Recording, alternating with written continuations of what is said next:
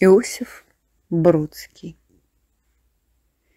Представь, черкнув спичкой, Тот вечер в пещере, Используй, чтоб холод почувствовать щели В полу, чтоб почувствовать голод посуду, А что до пустыни, пустыня повсюду.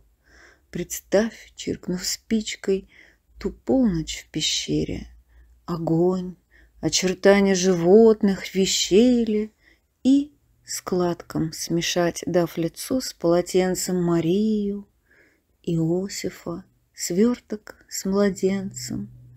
Представь трех царей, караванов движения к пещере, Верней, трех лучей приближения к звезде. Скрип поклажи, бренчание ботл. Младенец пока мест не заработал на колокол с эхом в сгустившейся сине. Представь, что Господь в человеческом сыне впервые себя узнает на огромном в потьмах расстоянии, бездомный в бездомном